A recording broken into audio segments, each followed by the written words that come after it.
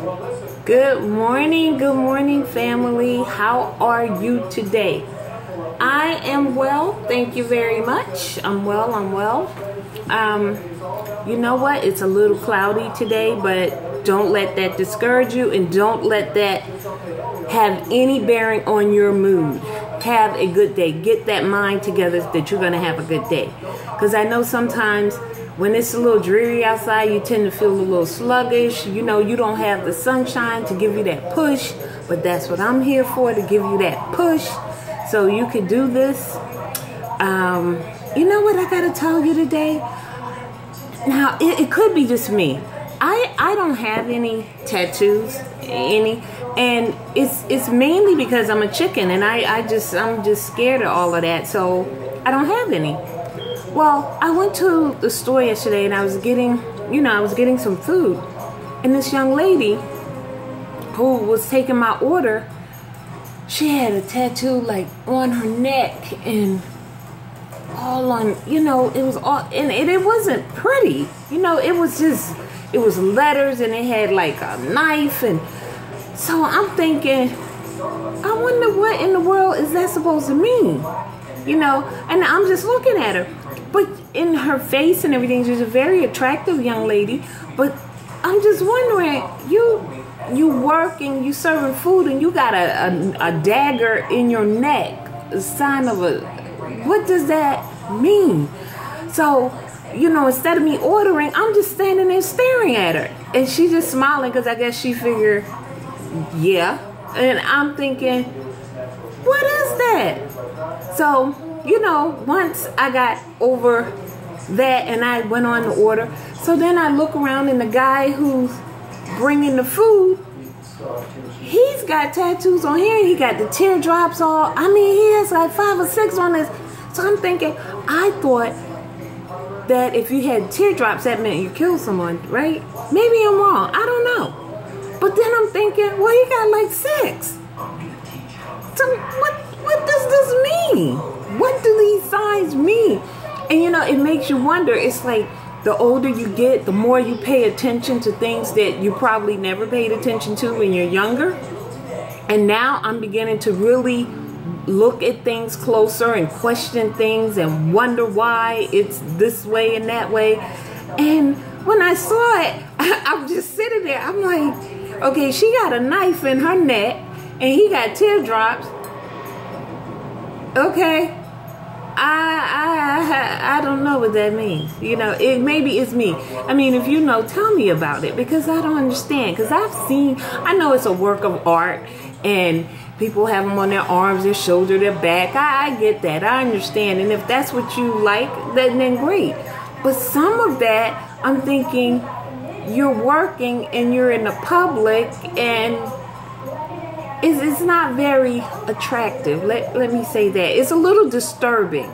You know, a knife mark in your neck, um, tears coming down. Ah, you know, hmm, okay. I, I digress. That's enough of that. I'm not going to waste your morning with that kind of stuff. But anyway, I just thought I'd share that with you because it just, I was like, what is that? What does that mean? But anyway, y'all. I have a quote, of course, and today's quote is The true secret of happiness lies in taking a genuine interest in all details of daily life. William Morris. One more time. The true secret of happiness lies in taking a genuine interest in all the details of daily life. Now, I thought that was interesting because yesterday it was a really nice day, and I thought, you know, I was walking and just I was in town and I was walking around, and I really was paying attention to things, just little things, people around me, um, how the, just the scenery, it all. And those are things that you really don't pay attention to. You kind of just go because we're so busy with our life and doing our thing that we don't pay attention to the beautiful things that are around us. And that's what I want you to do today. Just pay attention to something. Give your give an extra minute of your time to pay attention to the detail of something. And it maybe it's your work. Maybe it's something that you normally don't really, really look at hard, but look at it. Maybe you can see it from a different perspective. But I think that we need to do that more. Pay attention because we have, you know, we're flooded with the news with bad news. Somebody's getting murdered, somebody commits suicide, um, it's wars, it's all kinds of things that we pay attention to, and then we pay attention to it so much until we're not paying attention to it. Do you know what I mean? Like it's not a shock if you hear, oh, someone got shot in a robbery you kind of go, whoa, oh, that's that's bad. But it doesn't hit you like it used to hit you a few years ago. You go, oh my God, what happened? And you want the details. Now we don't really want the details. And I, I'm, I know maybe I'm speaking for myself, but I don't really even watch the news anymore like I used to because it just seems like it's the same thing over and over again. And I just, I just don't want that in my head all day. So I don't, I don't listen to it every now and then. This morning I got Good Morning America, but that's about it for right now. Maybe later. But anyway, I want you to have a good day. I want you to pay attention to a detail, whatever that may be. Pay attention to it. You know, I'm good. You're good. Let's be good together. I hope this is helping you because it helps me to talk to you. It really does, especially when I have these thoughts.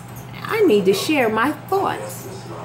So, with that being said, you know what you have to do. You have to like.